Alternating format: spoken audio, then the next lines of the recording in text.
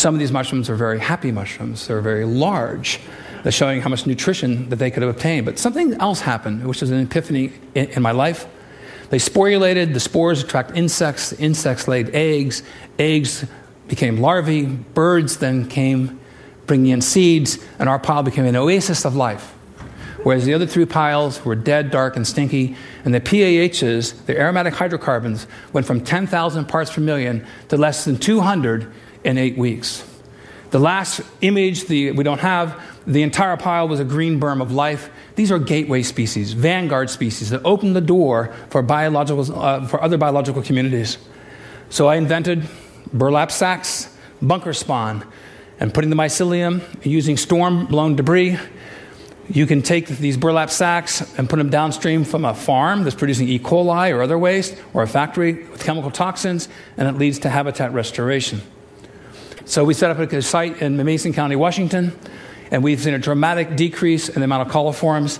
And I'll show you a graph here. This is a logarithmic scale, 10 to the eighth power. is more than 100 million colonies per gram, and 10 to the third power is around 1,000. In 48 hours to 72 hours, three, these, three, these three mushroom species reduce the amount of coliform bacteria 10,000 times. Think of the implications. This is a space conservative method that uses storm debris, and we can be guaranteed that we'll have storms every year. So, this one mushroom in particular, Drew has drawn our interest over time. This is my wife, Dusty, with a mushroom called Fomitopsis officinalis, agarikon. It's a mushroom exclusive to the old growth forest. The Dioscorides first described in 65 AD as a treatment against consumption. This mushroom grows in Washington State, Oregon, Northern California, British Columbia, now thought to be extinct in Europe. It may not seem that large, Let's get closer. This is extremely rare fungus. Our team, and we have a team of experts that go out, we went out 20 times in the old growth forest last year. We found one sample to be able to, to get into culture. Preserving the genome of these fungi in the old growth forest, I think, is absolutely critical for human health. I've been involved with the U.S. Defense Department BioShield program. We submitted over 300 samples of mushrooms that we boiled in hot water in mycelium, harvesting these extracellular metabolites. And a few years ago, we received these results. We have three different strains of agarikon mushrooms that were highly active against pox viruses. Dr. Earl Kern, who's a smallpox expert of the U.S. Defense Department, states that any compounds that have a selectivity index of two or more are active, 10 or greater are considered to be very active. Our mushroom strains were in the highly active range.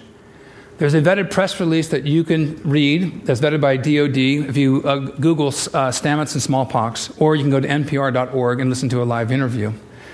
So, encouraged by this, naturally we went to flu viruses. And so, for the first time, I'm showing this. We have three different strains of agarikon mushrooms, highly active against flu viruses. Here's the selectivity index numbers. Against pox, you saw 10s and 20s. Now, against flu viruses, compared to the ribavirin controls, we are have an extraordinarily high activity, and we're using a natural extract within the same dosage window as a pure pharmaceutical. We tried against flu A viruses, H1N1, H3N2, as well as flu B viruses. So then we tried uh, a blend, and then a blend combination. We tried it against H5N1, and we got greater than 1,000 wow. selectivity index. I then, I then think that we can make the argument that we should save the old growth forest as a matter of national defense. Yes.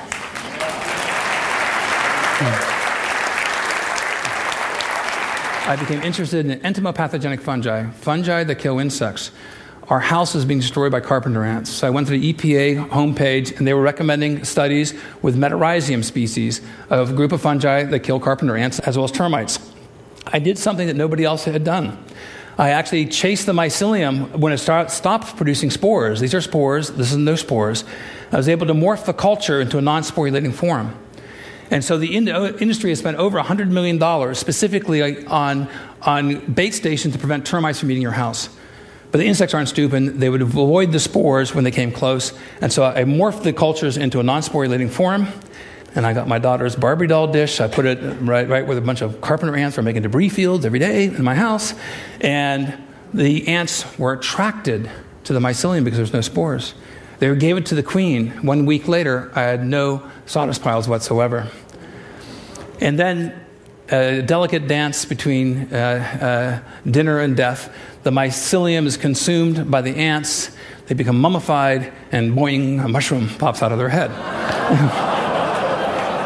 now, after sporulation, the spores repel, so the house is no longer suitable for invasion. So you have a, near permanent solution for reinvasion of termites. And so my house came down. I received my first patent against carpenter ants, termites, and fire ants. Then we tried extracts, and lo and behold, we can steer insects to different directions. This has huge implications. I then received my second patent. And this is a big one. It's been called an Alexander Graham Bell patent because it covers over 200,000 species.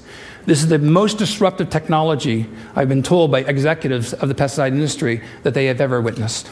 This could totally revamp the pesticide industries throughout the world. You could fly 100 PhD students under the umbrella of this concept because my supposition is that entomopathogenic fungi prior to sporulation attract the very insects that are otherwise repelled by those spores. And so I came up with a life box because I needed a delivery system. The life box, you could be getting a DVD of the TED conference. You had soil, you had water, you have mycorrhizal and endophytic fungi as well as spores like of the agarikon mushroom. The seeds then are mothered by, by this mycelium, and then you put tree seeds in here, and then you end up growing potentially an old growth forest from a cardboard box. I want to reinvent the delivery system and the use of cardboard around the world so they become ecological footprints. If there's a YouTube like uh, site that you could put up, you can make it interactive, zip code specific, where people could join together. And through satellite imaging systems, through virtual Earth or Google Earth, you could confirm carbon credits are being sequestered by the trees that are coming through life boxes. You could take a cardboard box delivering shoes. You could add water. I developed this for DARPA for the refugee community corns, beans, and squash and onions. I took several containers. My wife said if I could do this, anybody could. And I ended up growing a seed garden. And you harvested the seeds. And um, thank you, Eric Rasmussen, uh, for your help on this. And then harvesting the seed garden, then you can harvest the kernels. And then I just need a few kernels. I add my mycelium to it. And then I inoculate the corn cobs. Now, three corn cobs, no, other grain, lots of mushrooms begin to form. Too many withdrawals from the carbon bank. And so this population will be shut down. But watch what happens here. the mushrooms that are harvested, but very importantly, the mycelium is converted to cellulose and to fungal sugars. And so I thought, how could we address the energy crisis in this country? And we came up with ethanol. Generating ethanol from cellulose using mycelium as an intermediary, and you gain all the benefits that I've described to you already. But to go from cellulose to ethanol is ecologically unintelligent, and I think that we need, need to be ecologically intelligent about the generation of fuels so we build the carbon banks on the planet, renew, renew the soils. These are the species that we need to join with. I think engaging mycelium can help save the world. Thank you very much.